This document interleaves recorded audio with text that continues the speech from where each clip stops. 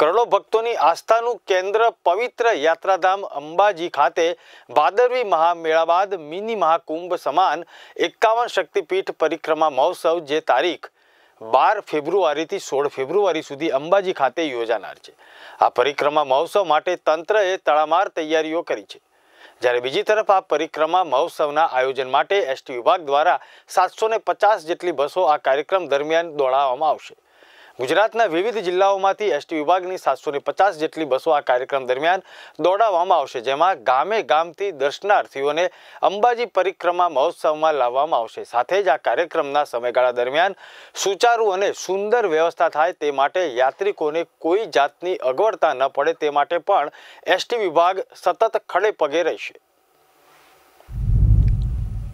પરિક્રમા મહોત્સવમાં એસટી નિગમ સાતસો પચાસ બસો દ્વારા સંચાલન કરનાર છે, જેમાં અલગ અલગ જિલ્લાઓમાંથી બસો આવનાર છે.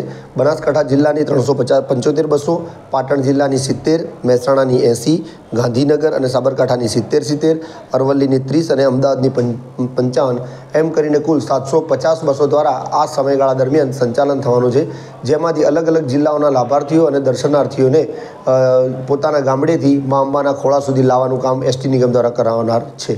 આ સમયગાળા દરમિયાન બારથી સોળના સમયગાળા દરમિયાન આઠ હંગામી બસ સ્ટેશનો બનાવનાર છે, જેમાં અલગ અલગ જિલ્લા અને તાલુકા વાઇઝ પાર્કિંગ થશે, જેથી કરીને આવનાર મુસાફર જનતાને કોઈપણ પ્રશ્નનો સામનો ન કરવો પડે.